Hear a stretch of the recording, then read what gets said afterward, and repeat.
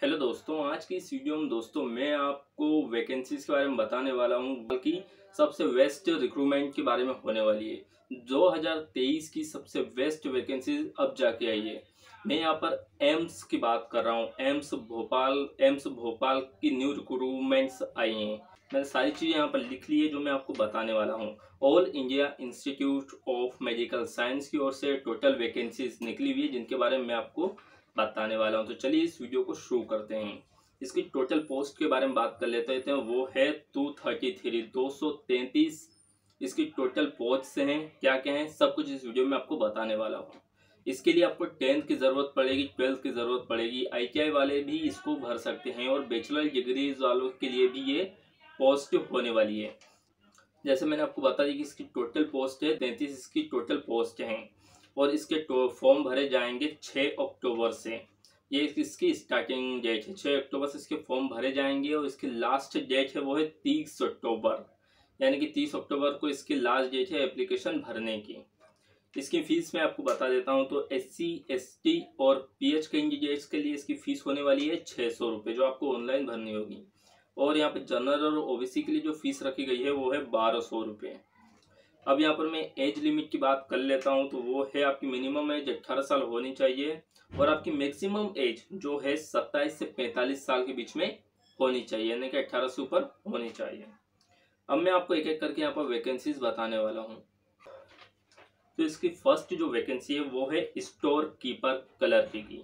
इसकी total vacancies इसकी total post है एटी फाइव है और इसमें आपको बैचलर डिग्री की ज़रूरत पड़ने वाली है। इसमें आपको बैचलर डिग्री की ज़रूरत पड़ने वाली है और उसी के साथ आपके पास एक साल का एक्सपीरियंस यहाँ पर मांगा गया है और आपकी एज यहाँ पर तीस साल होनी चाहिए।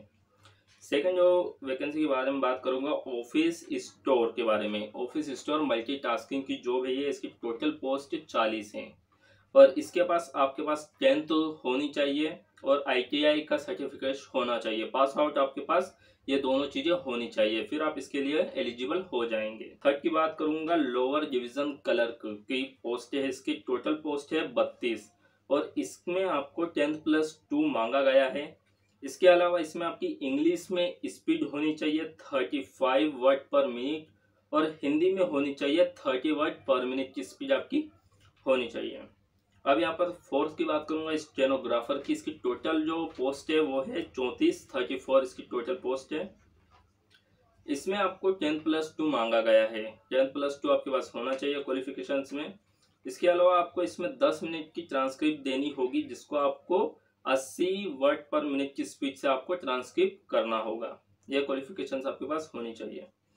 अगली पोस्ट है ड्राइवर के लिए। इसकी टोटल पोस्ट है सोलह। इसके, इसमें आपके पास टेंथ होना चाहिए और आपके पास एक लाइसेंस होना चाहिए। इसके अलावा आपके पास दो साल का एक्सपीरियंस होना चाहिए।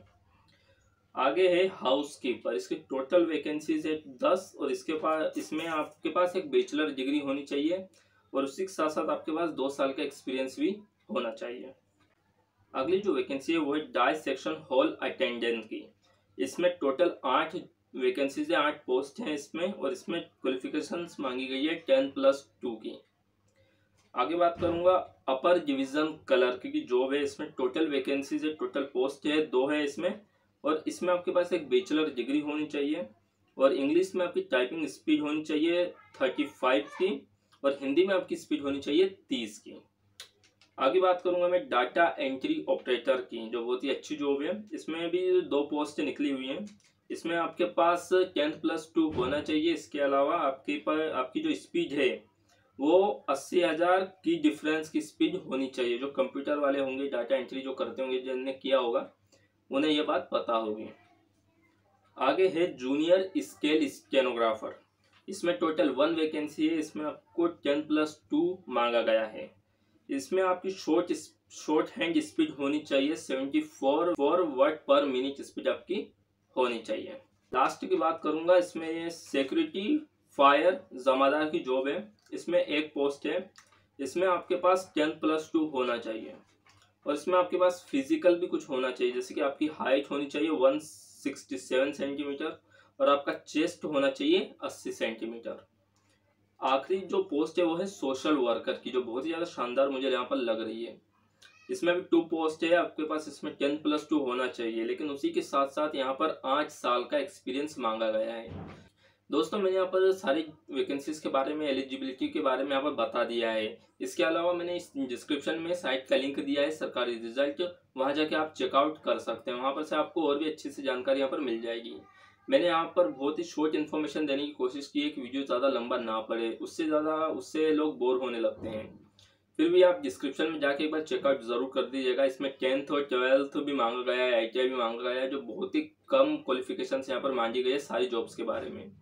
और यदि आप गूगल पे जाकर सर्च करेंगे एम्स भोपाल तो आपको पता चल जाएगा कि ये सारी जो वैकेंसीज निकली गई है, इसमें सैलरी भी अच्छी खासी होने वाली है।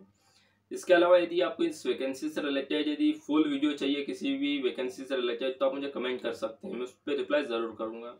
और आपको इस मेरे इस यूट्यूब चैनल पे एकदम शॉर्ट वीडियोज़ ही मिलेंगी। पाँच से छः मिनट की वीडियोज़ आठ मिनट की वीडियोज़ ज़्यादा लंबी में नहीं बनाने वाला। क्योंकि ज़्यादा लंबी बनाने से वीडियो लेंदी तो हो ही जाती है, उसी के साथ साथ सामने वाला इंसान बोर भी होने लगता है। यदि आपको कुछ डाउट है तो आप मुझे कमेंट में पूछ सकते हैं, मैं उसका रिप्लाई ज़रूर करूँगा।